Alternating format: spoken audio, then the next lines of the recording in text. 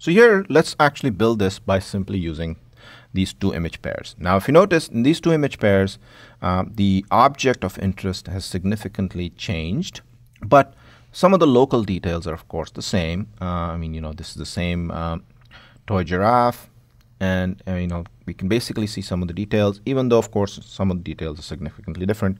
Also in this case, just to prove a point, uh, the intensities are also different. So first, of course, by running through, and we basically now want to come up and compute the corner response function as we've looked at for this image. This basically starts giving us all of these responses, and I've just color uh, mapped them a little bit to kind of point out where the higher cost functions are, which are all of the bright red ones.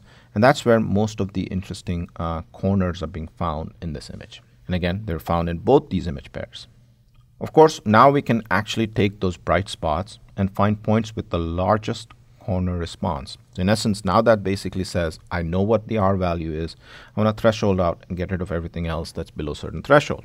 That allows me to find these regions again in both of them that are just a higher rate or higher intensity of R's.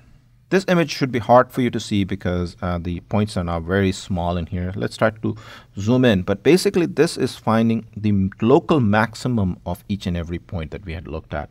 And again, at this scale, they get to be really small. Let's zoom in. And if you zoom in, you should be able to see some simple white spots all over this image. Don't fret if you don't see them because what I've done now is basically just uh, use contrast enhancement and now you can see these points here.